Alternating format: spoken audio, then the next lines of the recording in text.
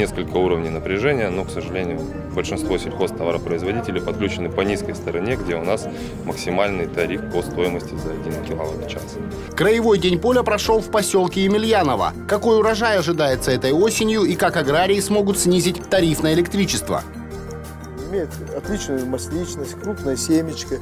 В основном все, все семечки, которые мы покупаем, э, вузгать, ну, в, в пакетиках, в основном это сорт наш. 6 тысяч тонн элитных семян за сезон. Зачем в Красноярском крае нужен свой селекционный центр?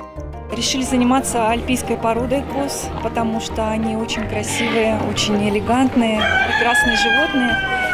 Вот, э, и качество молока у них для производства сыра самое лучшее. Вислоухие козы, скачки и сибирская моцарелла. Почему сельскохозяйственный праздник становится одним из самых популярных у красноярцев?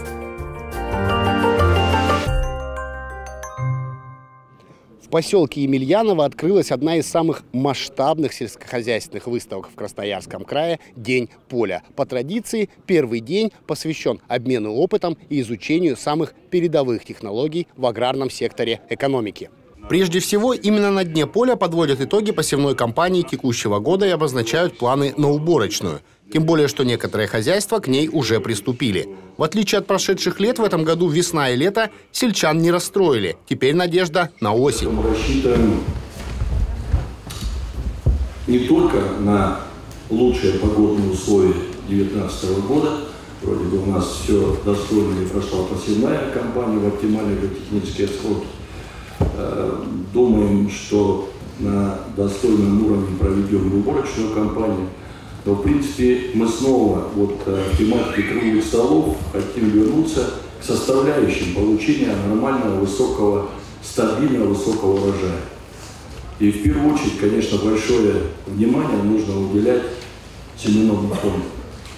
Основа сегодня, наверное, получения урожая высокого, мы знаем их много. Это агротехника, это и химия, это и минеральное удобрение. Об этом мы будем говорить, э, наверное, в ходе и пленарного заседания, в ходе сегодняшнего круглого стола.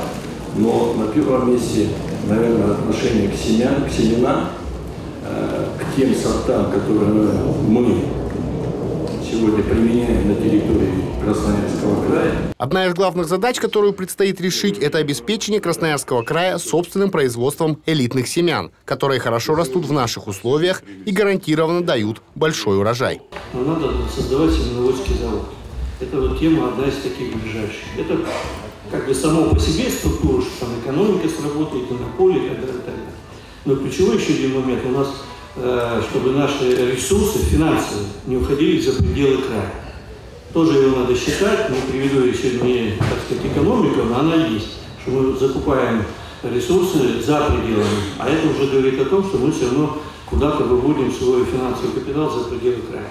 Вот создание такой системы, чтобы мы себя самообеспечили всеми ресурсами, это тоже один из наверное, ключевых моментов экономики, который говорит о том, что отраслевое министерство в рамках общей стратегии э, развития края должно преследовать и эту цель.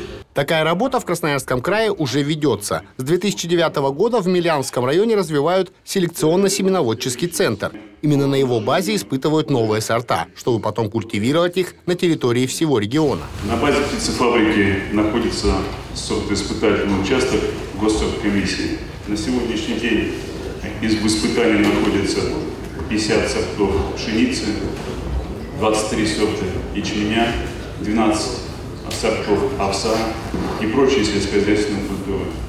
А, сорты испытания дает нам и а, Госсовет, госсорткомиссии определить правильный потенциал сорта, поскольку мы используем технологию возделывания, ту, которую, интенсивную технологию, которую используем на семенных посевах, на элитных семенных посевах у себя на птицефабрике. Показатели существенно отличаются, и комиссия их сравнивает с учетом определенных интенсивных факторов производства. Посмотреть своими глазами и узнать самый современный опыт в производстве элитных семян и испытании новых сортов специалисты смогли чуть позже. Пока же прошел второй круглый стол по очень важной теме – электроснабжении предприятий агропромышленного комплекса – Прежде всего обсуждалась возможность снижения цены за киловатт с 7,5 рублей до 5 рублей. Причем на эти цели уже разработаны меры государственной поддержки, вплоть до возмещения половины затрат на приобретение нового оборудования и модернизацию сетей. У нас есть несколько уровней напряжения, но, к сожалению, большинство сельхозтоваропроизводителей подключены по низкой стороне, где у нас максимальный тариф по стоимости за 1 киловатт-час. А министерством разработана поддержка в этом году, как раз-таки стимулирующая сельхозтоваропроизводителей на переход с низкой стороны на средне-низкую вторую, где как раз таки стоимость одного киловатта значительно ниже, порядка там 25-30%. А с этого года уже началась работа в этом направлении именно со стороны товаропроизводителей. Вот есть уже удачные примеры. Сейчас пока очень мало практики, потому что ну, на сегодняшний день этим вопросом занимаются 5-6 предприятий края. Вот э, хороший пример а, ООО «Мана» Абанского района. У них как раз-таки уже получилось. И в сентябре мы будем готовы принять от них пакет документов именно на субсидирование. То есть работы все проведены, переподключение осуществлено, то есть все нужные линии достроены, тариф будет изменен, и, соответственно, в сентябре мы уже будем принимать первый пакет документов и его субсидировать. Ну а дальше, как говорится, а, должен быть пример показательный. Вот это предприятие будет этим самым положительным примером. Кроме того, на выставке можно было узнать и о других видах государственной поддержки. Прежде всего, такой важной, как приобретение новой сельскохозяйственной техники. Тут руководители предприятий познакомились не только с техническими данными тракторов, комбайнов и зерносушилок, но и с размерами помощи на приобретение или лизинг. Но сегодня существует, наверное, основная поддержка я имею в виду для всех сельхозтоваропроизводителей, это федеральная программа, она называется 1432, в народе так ее называют, ну, постановление правительства. Значит, 20% э, э, государство субсидирует э, заводу значит, по отчетным документам, как будет приобретена техника, это зерноуборочные комбайны, тракторные, я имею в виду тракторы и, и иная сельхозтехника. И плюс к тому же очень хорошая поддержка – это краевая субсидия. Вот за это надо отдать спасибо. Значит, на каком этапе и как происходит. В принципе, э, хозяйство платит 50%. Э, значит, с документами в Минсельхоз и выплачивается субсидия 50% от комбайна. Ну, берем за основу, взяли зерноуборочный комбайн «Вектор», это 3 миллиона. Дальше вы можете приобрести и другую технику, э, модельный ряд, который подороже, попроизводительнее. Ну, в общем, вот 3 миллиона на зерноуборочный комбайн. На пассивные комплексы, зерноочистительные э, сушилки. Э, Все это вот краевой бюджет субсидирует. В принципе, не было ни одного сбоя, вот за что спасибо большое. Первый день были не только теоретические семинары и обсуждения, но и практическая часть. Прежде всего, это визит на селекционно-семеноводческий центр, проект которого реализуется в Емельяновском районе на базе местной птицефабрики в рамках господдержки. На площади около 2800 гектаров расположены опытные делянки сортов зернобобовых, зерновых, масличных и многолетних трав – Пшеница и овес адаптированы к нашим климатическим условиям, поэтому востребованы именно сельхозпредприятиями Красноярского края. Уже сейчас здесь реализуется около 6 тысяч тонн семян в год. Целью селекционно-семеноводческого центра является производство семян высших репродукций, высоких репродукций. А на сегодняшний день, по результатам прошлого года, позапрошлого, мы предлагаем к реализации элитные семена по году более 6 тысяч тонн качество которых смогли оценить многие сельскохозяйственные предприятия, в том числе ведущие. Семена – это значимый фактор а, в получении результата в урожайности зерновых культур. Одно из главных устройств в центре – фотосепаратор. Он обеспечивает практически стопроцентную очистку семян. Причем отделяет нужное от сорняков и прочего брака по цвету. Для промышленных масштабов есть другой зерноочистительный комплекс внушительных размеров и мощности, производительность которого до 100 тонн зерна в час. Это склад временного хранения. Он, а, он существует для того, чтобы, получив с поля зерно, просушить его, а, провести первичную очистку и заложить на временное хранение, проверив предварительно на всхожесть. Там внутри стоят термодатчики, термоподвеска, все это на компьютере. Будущий урожай растет на специальных делянах. Это подсолнечник сорта Енисей, перспективная для нас культура. Выведен в Казачинском еще в 50-е годы. В селекционно-семеноводческом центре с этим сортом работают всего третий год, но результат уже впечатляет. Имеет отличную масличность, крупная семечка. В основном все, все семечки, которые мы покупаем, э, лузгать. Ну, в пакетиках. В основном это сорт наш. В прошлом году посеяли 3 гектара и произвели э, 2 тонны, продали элитных семян подсолнечника. Было посеяно с них э, э, не ошибаюсь, тысяча, что ли, гектар. По соседству колосится пшеница четырех сортов, ждет уборки. Это питомник испытания первого года. Пропалывают их вручную. Эти колосочки – результат двухлетнего труда. А вообще до получения партии элитных семян проходит обычно не меньше семи лет. Селекционный комплекс, э, научно-исследовательские институты занимаются выведением новых сортов. Когда они вывели сорт – отдали в сортоиспытание, прошло сортоиспытание не просто так. Если, допустим, я взял Новосибирскую 31 и назвал ее Новосибирской 41 на сортоиспытании три года прошло, увидели, разницы нету, а смысл какой? Естественно, оставят старый сорт. Поэтому э, кропотливый э, труд идет. Э, скрещивание, гибридизация. Даже в гены сейчас лезут. На складах сейчас мало семян. Все же основная уборочная еще впереди. И как раз на будущее рядом уже идет строительство новой очереди комплекса. Селекционно-семеноводческий центр развивается. А мы в дальнейшем планируем укреплять техническую базу, а также совместно с институтами отрабатывать в плане испытаний новых сортов, а предлагать новые технологические решения. Также у нас направление достаточно активно сейчас развивающееся. Это семена многолетних трав. Мы в ближайшие уже предлагаем и будем наращивать объем производства семян многолетних трав. Люцерна, экспорцет, донник, кострец. Второй день сельскохозяйственной выставки, конечно, больше праздник. Будут и скачки, и угощения, и песни, и пляски. Но все же одно из главных событий – это выставка сельскохозяйственных животных, где для себя можно приобрести как небольшое поголовье, так и буквально одну особь. Например, пустить вот такого вот красивого козла в свой огород.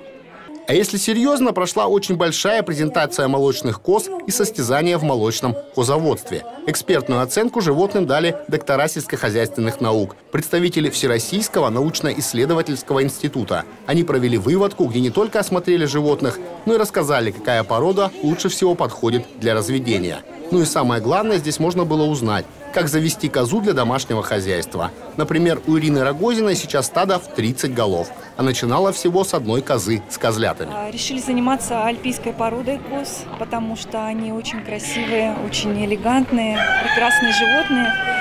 Вот, э, и качество молока у них для производства сыра самое лучшее. Вот. А сыроделие – это одно из направлений нашей деятельности, нашей фермы. Впервые в рамках краевой сельскохозяйственной выставки прошел конкурс сыроваров «Мастер моцареллы». Всего в нем приняли участие 9 человек из разных районов края. Комиссия оценила мастерство претендентов по ряду критериев. Вкус, запах и цвет, консистенция, рисунок, внешний вид продукта. А, в апреле месяце я здесь тоже была на крупном форуме, и мы общались с Александром Николаевичем. А, перед этим я увидела, как у вас проходит конкурс по мясу, и сказала, а давайте сделаем то же самое, но по моцарелле.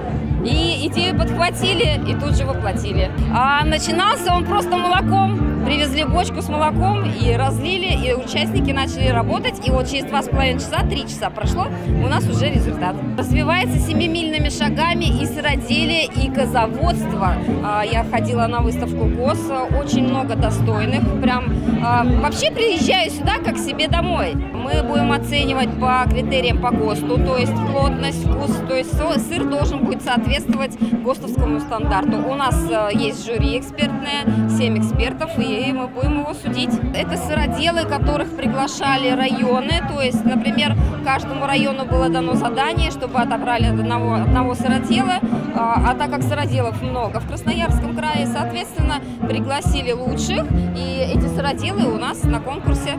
Все сыры получились очень вкусными. Отдельного внимания заслуживает их презентация. Так что даже опытной комиссии было трудно определить победителя. Спонтанно реклама выскочила в интернете. Заинтересовалась, пришла по ссылочкам, увлеклась и заболела. В основном из козьего, потому что у меня козочки. Но иногда коровья покупаю. Сколько видов, ну трудно сказать. Но... Твердые, полутвердые, мягкие, свежие, с плесенью. На выставке было очень много ярких площадок. Тут и любители цветов, и хорошего дачного урожая. Прошел конкурс на лучшую дачную витрину. А кроме того, здесь же можно было приобрести семенной картофель, который выращен на полях Красноярского края. На сегодняшний день у нас выращивается 19 сортов э, семенного картофеля различной селекции, как и иностранной, германской, голландской, так и отечественной. На 6 сортов, 7 сортов присутствует, это российская отечественная селекция. Картофель, качественный семенной картофель, он везде востребованный, как на больших предприятиях сельхозпроизводства, так и фермеров, и в личных подсобных хозяйствах, и на дачах. Э, мы в прошлом году провели такую э, торговлю прямо на выставке весной э, для садоводов. Была реализация, мы в розницу реализовали около 6, 6 тонн. Вот, то есть уже население, популярность и понимание, что качественный семенной картофель элитный, он дает свою, свой результат даже в личных подсобных хозяйствах. Разумеется, на выставке можно было купить все, что производят ремесленники, и прежде всего сувениры ручной работы. Татьяна Иванова из Ачинска приезжает сюда пятый год подряд. Привозит свечи из пчелиного воска. Говорит, они не только симпатичные, но и воздух обеззараживают. У деда и дяди пасека у нас остается воск, а я, мама и моя дочь, мы уже делаем свечи. Было скучно на работе, сидела, ну, воск мнется, мягко очень. О, можно слепить. И как-то вот пошло, пошло, пошло и переросло в целое дело семейное.